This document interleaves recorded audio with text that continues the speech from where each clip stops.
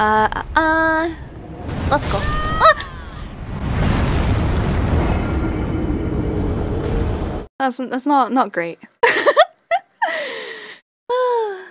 Is that the female version of Morning Wood? Yeah, Morning Dew. Yeah. Did you guys know that squirting is called the nectar of the gods? Because it's apparently sweet. There you go. I said it. I said it. I mean, you can choose to believe me. You can choose not to believe me. That's up to you. You can you can test if you want. Test if you want. Feel free to uh, disprove me. That's what I'm saying.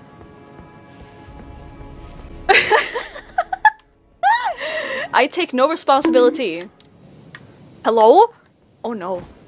Okay, no, we're fine, we're fine.